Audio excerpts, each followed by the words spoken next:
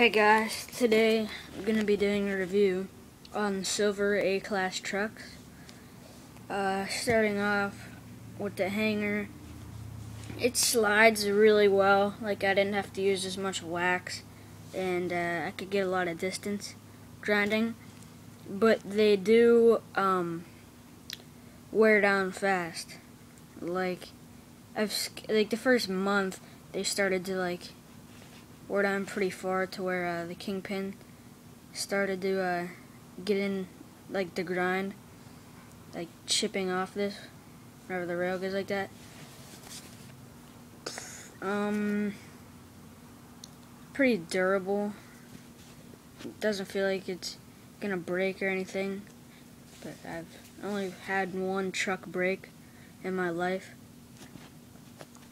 and there's like a different way they uh, do this.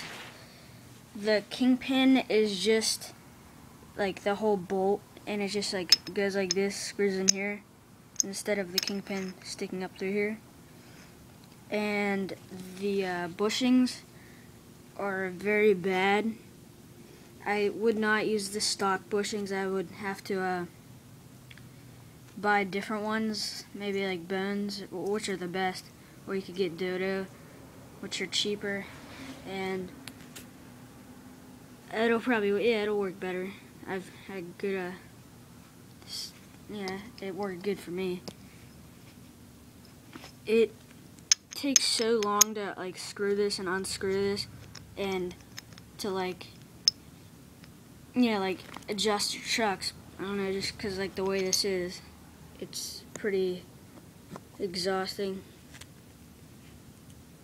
and that's about it for this but I don't like yeah I definitely do not like this kind but maybe some others might. Especially uh how it's just like the bolt there's like a built-in washer and my skate tool slips off of it because it's round like a lot and uh, that's a bad part too. But if you don't really like care about tightness or looseness or anything I would get them you're like really good at grinding. Because um, well yeah as I said they slide very good. And that's about it. Also they're very light really light truck. And as well they have uh, a cover on these bolts too. So you can't tighten it like really far but I don't really need to but on the one side, uh, yeah, it's right here. I tightened it too far and it just like popped off. And it kind of has like a sharp edge. So whenever you like land like a primo and like you fall and your leg hits it, it'll like cut it up. But you could probably just sand that down. That's my review on the silver A-class trucks. It comes in a like a container like this where it holds them.